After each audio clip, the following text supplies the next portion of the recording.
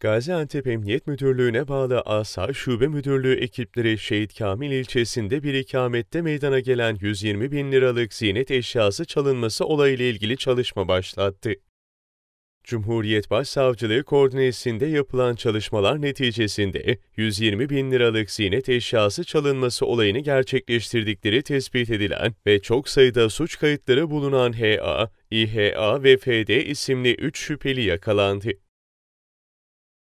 Yakalanan şüpheli şahısların olayın yaşandığı evin önüne gelme ve hırsızlık sonrası kaçma anları ise çevredeki güvenlik kameralarına yansıdı.